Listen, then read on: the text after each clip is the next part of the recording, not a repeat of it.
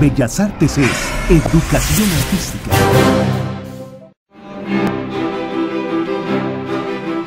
La Escuela Nacional de Danza Nelly Gloria Campobello tiene sus antecedentes en el año de 1931 y formalmente se fundó el 15 de mayo de 1932.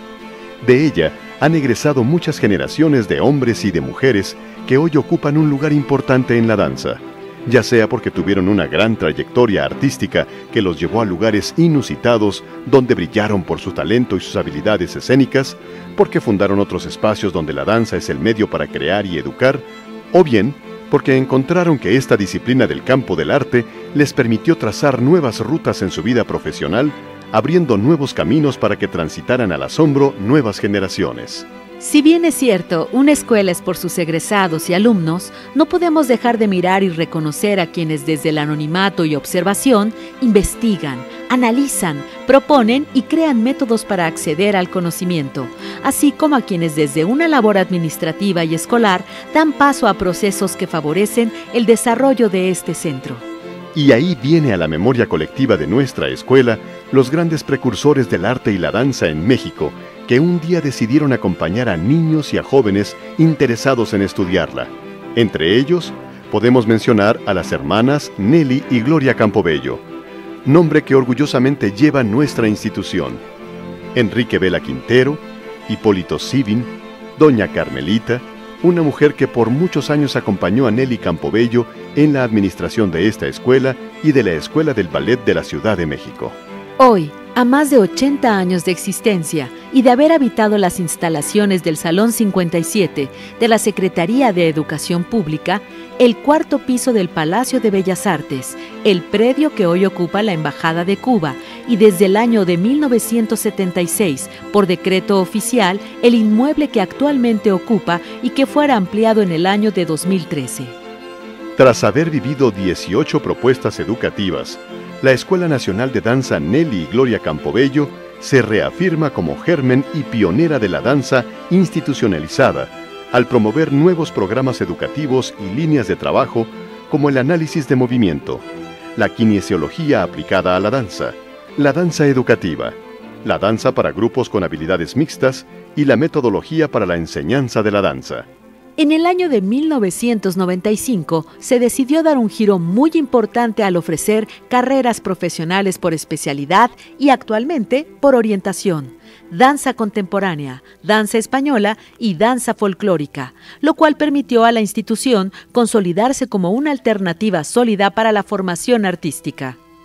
La razón de ser una escuela superior como esta no solo radica en la preocupación por academizar el arte y formar profesionales en ello, sino también por hacer del trabajo académico y escolar un proceso en constante transformación que permita incidir en nuevos campos culturales y educativos. El arte siempre será uno de los motores de cambio en cualquier persona y sociedad. El camino ha sido arduo. Si bien nos acompaña el entusiasmo de la juventud que decide formarse en esta escuela, hoy reconocemos que ese trabajo también corresponde a los directivos, docentes y a trabajadores de la institución. Por ello, esta función reconoce la labor de 41 personas que han dedicado su vida a hacer crecer nuestra escuela y a las direcciones que han estado desde el año de 1995 para que nuestra escuela esté de pie y fortalecida. A ellos y ellas agradecemos el amor a su trabajo.